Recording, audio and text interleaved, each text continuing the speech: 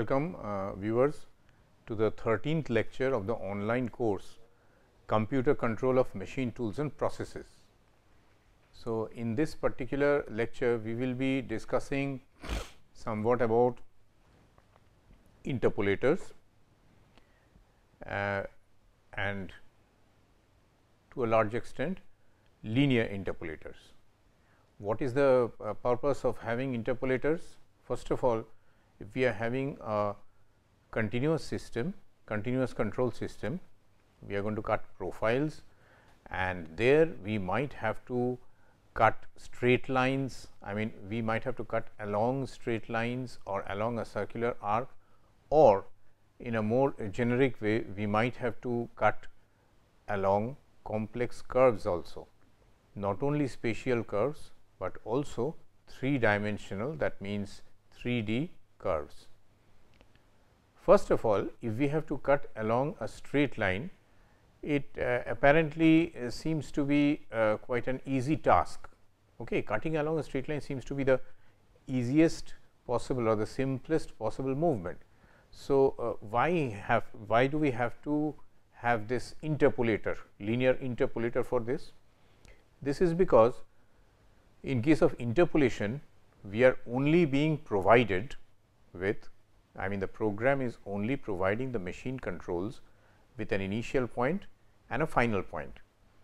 So, in between the points or the locations through which the machine is I mean the cutter is going to move relative to the workpiece these are not provided. Also the velocities that are supposed to be developed by the uh, different axes of motion that is also not known. So, this way two specific tasks of the interpolator emerges. One is the interpolator has to make the cutter maintain a definite velocity uh, rate of velocity along the uh, profile of the workpiece. So, along the path the cutter has to move at the feed rate programmed. Second, in order to move along the path, the cutter has to have a definite ratio existing between the different axis velocities. If it is linear motion, these axis velocities are constant. Therefore, the ratio also remains constant. This is the way in which linear interpolator can be specified. So, let us have a look what we have. So, linear interpolators can be made by software or hardware and hardware interpolators may be made by a number of digital differential analyzers which we have already uh, you know uh, studied in a previous lecture on logic circuits and decoders. It is also possible to make software counterparts of this particular interpolator which is sometimes referred to as reference pulse interpolator. So, interpolation as we just now discussed, it might not always be restricted to linear and circular interpolation, but also may involve parametric curve interpolation. And these curve interpolators may be offline or online. So, first of all, let us take a uh, look at a numerical problem. This will help us in establishing the different relations which exist between different parts of an interpolator. What is this problem? This problem states that find out the basic length unit, the interpolator frequency f and the number of interpolator pulses sent through the AND gate of the x axis control loop for the command in the line number 30 for a CNC closed loop contouring control or continuous control machine with encoder number of holes 200, lead screw pitch 4 millimeters, number of starts equal to 1. There is a position down counter and there is an up down counter also in the control loop. There is a digital and to analog converter and M is the permanent magnet DC motor, E the amplifier, T the tacho generator and E the encoder we are already conversant with this sort of uh, you know uh, control loops. I will just reiterate one or uh, one or two very important points that is interpolator pulses are coming in and first of all they decrement the position down counter. It is the you know uh, custodian of the position. So, it will only allow a specific number of pulses to be passed through. The up down counter keeps track of the balance of the pulses of the interpolator and the encoder. While the interpolator is filling up the up down counter with higher and higher numbers, the encoder is going on decrementing the up down counter contents.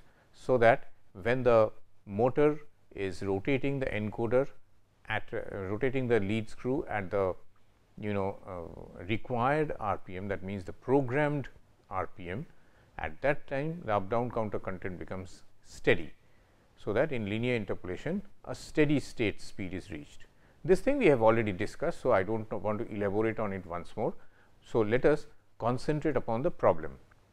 We can formulate the problem solution this way that is we will find out the basic length unit, we will find out the feed along the x axis, we will find out the rate of pulses output by the encoder and we will find out the number of pulses output by the encoder for line number 30 and that way we will solve the problem.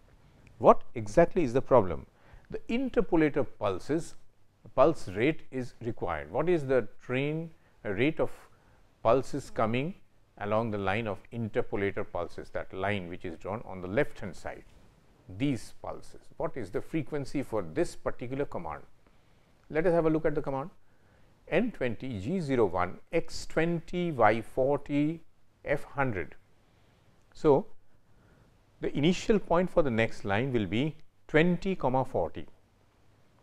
From the point 20 comma 40 in line number 30 we are reaching x equal to 50 and y is equal to 80 which means x is moving from 20 to 50 30 millimeters and y is moving from 40 to 80 which means 40 millimeters. So, 30 millimeters along x and 40 millimeters along y and the feed is a 100 millimeters. So, let us go to the solution. So, we can solve the problem this way. We first understand that the basic length unit must be equal to lead screw pitch divided by the encoder number of holes which is 20 microns 0.02 millimeters. Amount of movement along x we found out just now is 30 millimeters. Movement along y is equal to 40 millimeters. This also we have found out just now. Displacement ratio is equal to velocity ratio for, for straight line movements. What does this mean? It means that whenever uh, motion is taking place along a line, a part of it along x, a part of it along y. In that case, the velocity along x and velocity along y will be having the same ratio as the displacement along x and displacement along y in case of linear motion. So, as we are having linear interpolation here, so V x by V y is equal to delta x by delta y that means, it is equal to 30 by 40. So, 3 fourth and we also know since the feed velocity is 100 millimeters per minute. Therefore, the resultant velocity along the cutter path must be V x square plus V y square root over equal to 100. From this, we can easily find out the value of V x equal to 60 millimeters per minute. So, once V x has been found out, we can find out that uh, uh, sorry when when V x has been found out from the basic length unit which has been calculated, we can find out the rest of the terms required. For example, when the table is moving at 60 millimeters per minute in the x axis along the x axis the encoder must be sending 60 divided by 0.02 pulses per minute. Why is this so? Because 60 millimeters per minute to the encoder is not exactly 60, but it is equal to the number of basic le length units it has to uh, uh, you know generate in the corresponding time. So, let us see 60 divided by 0.02 must be equal to 3000 pulses per minute. So, in order to you know uh, develop a speed of 60 millimeters per minute or rather when the table develops 60 millimeters per minute encoder sends 3000 pulses per minute. So, now we understand that the encoder pulse rate is 3000 pulses per minute. So, at steady state for linear velocity the encoder pulse rate uh, must be equal to the interpolator pulse rate. What does this mean? We already established that when we are having linear velocity a steady state has been reached and at that time interpolator pulse rate becomes equal to the encoder pulse rate. So, since encoder pulse rate has been found out to be 3000 interpolator pulses also must be 3000. So, answer is interpolator pulse rate must be 3000 pulses per minute and how many pulses uh, are being uh, you know passed through at the AND gate it must be equal to uh, must be corresponding to 30 millimeters because 30 millimeters is the movement along x divide 30 millimeters by 0.02 and you will get 1500 pulses. So, 1500 pulses are being sent through. So, this is the answer to the question. Now, let us see uh, a DDA based interpolator. In the DDA based interpolator, as we have discussed previously, there is an input pulse rate f. It enters a feed DDA, which is having m number of bits and uh, inside this m bit counter, uh, number s is stored. So, s, s has to be smaller in size compared to 2 to the power m minus 1 that, that can be the maximum size of s. The output pulse rate of any such DDA is always equal to f multiplied by delta x which is inside that particular counter divided by 2 to the power n if n be the number of bits of that DDA. So, the pulse rate output of the feed DDA goes to x DDA and y DDA and they send out their respective pulse rates to the x motor and the y motor. This is the basic structure of the linear interpolator and the output pulse rate is ultimately found out to be the input pulse frequency multiplied by 10 into V, V is the programmed feed rate along the cutter path into delta x, delta x is the incremental x motion divided by L, L is the length uh, segment of the path and multiplied by 2 to the power m plus n. This is the pulse rate along uh, pulse rate out of the x DDA. So, let us so and S also has an expression 10 into V by L, where these things we have already defined and f has a value of 2 to the power m plus n by 10. So, let us take a numerical problem. During DDA based linear interpolation, the cutting tool center has to move from point 2010 to the point 12060 at a speed of 3 meters per minute the coordinates of the points are in millimeters. The table size is 600 into 600 millimeters. The maximum table speed is 12, milli, 12 meters per minute for a minimum distance of 50 millimeters and the basic length unit is given, given to be 10 microns. Find out the bit sizes of all three DDAs, the S word in the feed DDA that means the S word which has to be put in this particular case the values of p x and p y, the clock frequency and the output frequency of feed DDA and of course, the output frequency of x and y axis DDAs. So, first of all let us see the bit sizes of all three DDAs. So, we understand that 600 millimeters is the table side size on either x or y direction. If this be so, then the you know the and, and if the basic length unit is 10 microns, in that case we can easily find out what will be the maximum size of delta x that means maximum possible incremental motion. So, if we suppose that the maximum possible incremental motion is equal to the the, the length of the table itself which is 600 millimeters.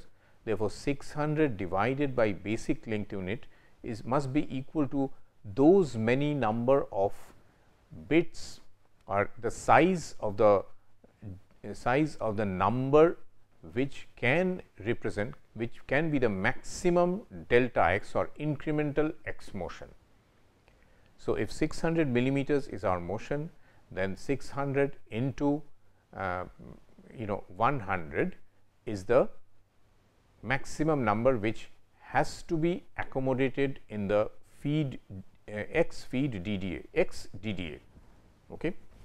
So, let me reiterate 600 sorry 60,000 being equal to 600 divided by 10 microns is the maximum number which has to be accommodated in the x DDA uh, counter. Now, x DDA counter is of n bits. So, the maximum number it can accommodate is 2 to the power n minus 1. So, simply by calculation we can find out if n is equal to 16 uh, then 2 to the power n minus 1 is 65536 and this is the smallest counter which can accommodate 60,000. So, we come to the conclusion that the size of the counters inside x and y DDA must be 60 uh, sorry must be 16 each 16 bit counters inside x and y DDA. In the same way, we understand that the feed DDA which has S word inside which is of m bit size, it can contain or rather it has to contain the maximum possible feed rate number or S word. In that case, the maximum possible number is given by the condition given in the problem. The condition is the maximum table feed or rather table speed is 12 meters per minute for a minimum distance of 50 millimeters. So, we understand that if we take a, a table size uh, sorry table speed of 12 divided by the corresponding length of 50 millimeters, we will be able to compute the maximum value of the S word. So, highest value is the highest velocity is 12 meters per minute and lowest distance is 50 millimeters. Therefore, maximum S word is 10 into V by L. So, this thing is expressed in length units per minute. So, this is equal to 2400. So, in order to accommodate 2400 which is the maximum possible S word, we have to have m bits of uh, sorry m equal to 12.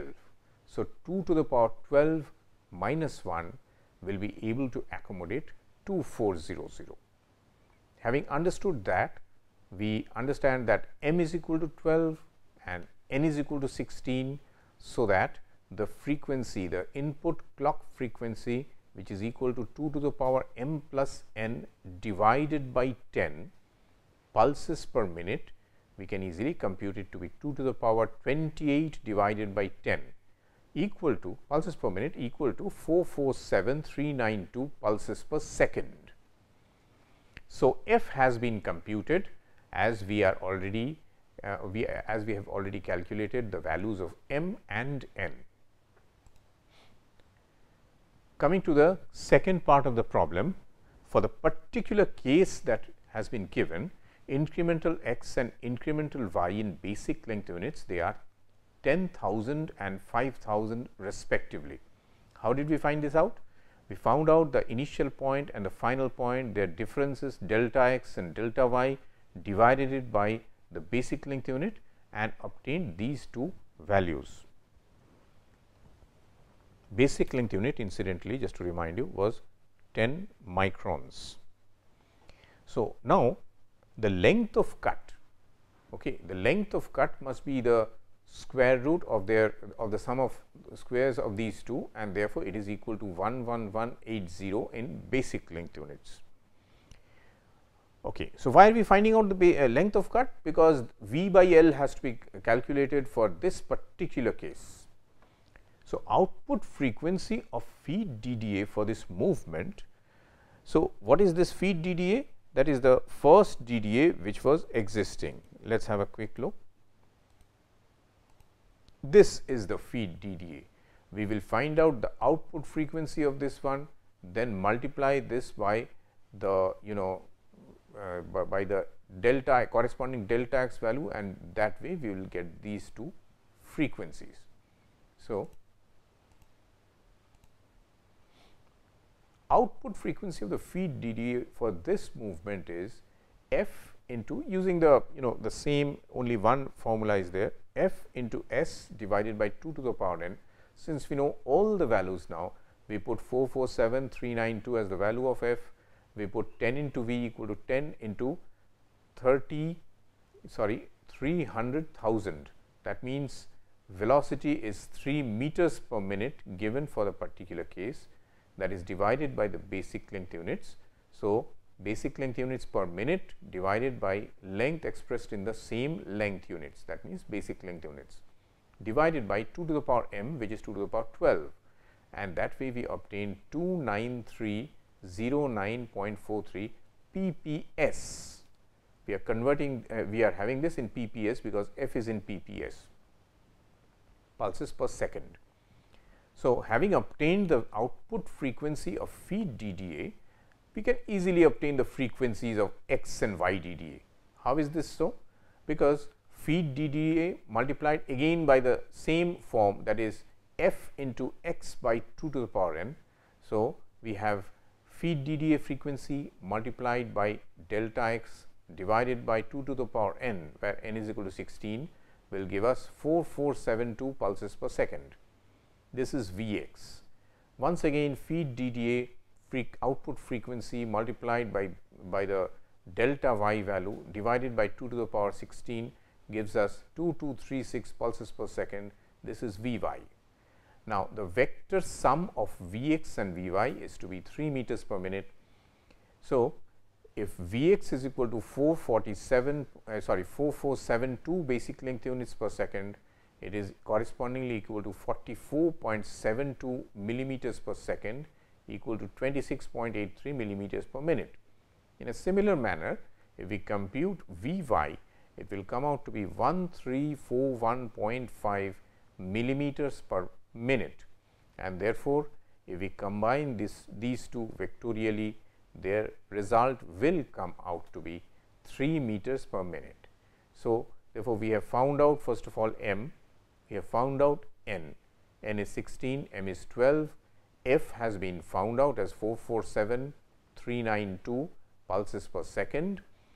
The output frequency of the feed DDA has been found out to be 29309.43 pulses per second and V x and V y frequencies have also been found out. Okay. Let us take one multiple choice question. In this multiple choice, choice question what is given? You are joining DRDO which we already know to be Defense Research Development Organization and they ask you to design a grenade with programmable delay before detonation. You know grenades when you take out some pin from that after that a definite time is permitted beyond which an explosion or detonation occurs. So, here we are talking about a grenade where the detonation time or detonation delay is programmable. Inside a grenade, inside the grenade there is to be a chip with a fixed clock at 1024 pulses per second which is input to a DDA. So, all these things are inside the grenade because DDAs and uh, clock uh, small clocks etc they are you know miniaturized and they can easily fit into a grenade. So, which is input to a DDA and the first overflow of the DDA will cause detonation. So, it is simply like this I have a clock, I have a DDA, I am putting in some number and the first overflow pulse which comes out, the out first output pulse is going to cause detonation. The grenade will have buttons to load the to load the counter of the DDA with three numbers for three detonation delay times 2 seconds, 4 seconds and 8 seconds. What should be the minimum DDA size to make this work? So, we know f, we do not know the number of bits inside the counter of the DDA and we know the required pulse rate outputs at the you know uh, detonation side. So, the answers are 2 to the power 10 minus 1. So, DDA size we know is 2 to the power n minus 1. So, that way we have given given it in that format 2 to the power 10 minus 1, 2 to the power 13 minus 1 and 2 to the power 18 minus 1 and none of the others of course. So, let us try this out. So, the answer is the rates of uh, detonation are. So, the rate at which the detonations are supposed to take place that is half per second, because if 2 is the time of time delay for detonation that means the first detonation is going to take place after 2 uh, seconds have passed and therefore, if one detonation takes place in 2 seconds therefore, per second I am having half a detonation. This is the rate of output pulses required for this particular case. In the same way, if 8 seconds are supposed to pass before the detonation, therefore, 1 by 8 per detonation per second is taking place. So, we have the frequency of detonation to be half, one fourth and one eighth per second. So, let us assume the number of bits in the DDA to be x. So, what does this mean that the counter size in the DDA is equal to uh, you know x bits. So, the maximum number that it can contain it is equal to 2 to the power x minus 1. So, now let us look at the lowest output pulse rate that can be obtained from this DDA. What do we mean by the lowest output pulse rate? 1024 is fixed the frequency. Then hardware size we are already assuming to be of x bits. So, 2 to the power x denominator is fixed and therefore, the x which gets multiplied as the number contained in the counter, if it is the lowest possible value, x inside the counter can only take up integer values. That means, its its minimum value can be 1. If it is 0, then there is no point having that uh, you know uh, that DDA. So, minimum value is 1 and then it can take other positive integer values. So, if we are planning to get the slowest detonation rate at 1 8th per second, let us equate 1024 divided by 2 to the power x into 1 that means I will put a 1 bit there inside. So, let us uh, work out and see how much that comes out to be. We have here 1024 is the frequency multiplied by only 1 here divided by 2 to the power x equal to the frequency that we want. If I put the smallest number I should get the smallest frequency lowest frequency. So, that way 2 to the power x becomes equal to 1024 is nothing but 2 to the power 10 if I am not wrong. 2 to the power 10 multiplied by 2 to the power 3 since powers are added I can write 2 to the power 13 and therefore, x becomes equal to 13. So, if you have uh, the number of bits inside this counter to be 13, then we can we can definitely ensure that this is going to have detonation times very easily of you know by putting 1024 divided by 2 to the power x into 2. This is going to give us double of this therefore, we, we are going to get 1 fourth so on and so forth. We, if we put 3 we are going to have 1. So, this way we can make this particular grenade work. Okay. Thank you very much. Thank you.